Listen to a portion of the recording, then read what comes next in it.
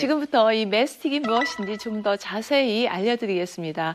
어, 메스틱은 그리스 에게해의 키오스 섬에서만 자생하는 나무에서 채취한 수액입니다. 어, 예로부터 아주 귀한 약재로 취급을 받아왔기 때문에 일명 신의 눈물이라고도 불리기도 합니다. 이 메스틱이 정말 귀한 약재인 이유가 있는데요.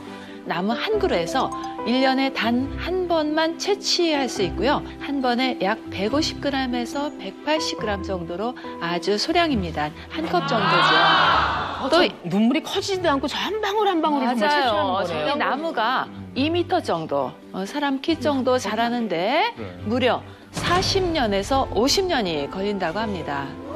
또한 놀랍게도 키오스 섬 이외의 다른 지역에서는 이 메스틱 나무를 키우면은 자라기는 하지만요, 이 메스틱의 유효 성분이 나오질 않습니다. 아, 진짜요? 그렇기 때문에 유럽 연합에서는 PDO라는 인증을 해주고 있는데요. 어떠한 그런 식품이 생산 품질 그리고 그 고유한 지역 그리고 거기에서 전통적으로 하는 그런 장인의 기술 이런 전통성을 보증해주는 원산지 보호 제도입니다.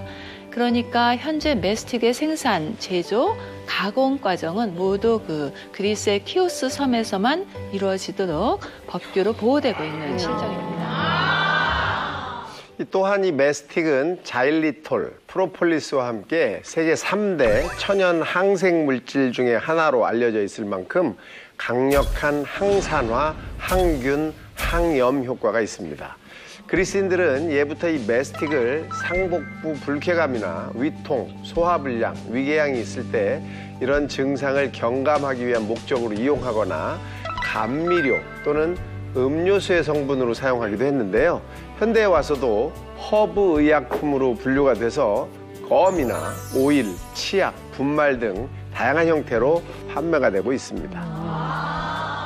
역류성 식도염이나 위장염 여기에 좋다는 그 이유 뭐가 좋은지 그걸 설명을 해주셔야죠. 네, 해드리죠. 뭐 이렇게 화를 내세요. 제일 중요한 걸 안 하시니까. 이 메스틱은 위산 분비를 억제해서 기능성 소화 불량을 개선해 줍니다. 위에 음식이 들어오면 뇌에서는 신경 전달 물질인 히스타민을 분비하게 되는데요. 이 히스타민은 위벽 세포를 활성화시켜서 위산을 분비하는 그런 역할을 합니다. 그런데 이 메스틱에 함유된 다양한 식이섬유들이 히스타민을 억제해서 위산의 과다 분비를 막아주는 효과가 논문으로 보고돼 있습니다.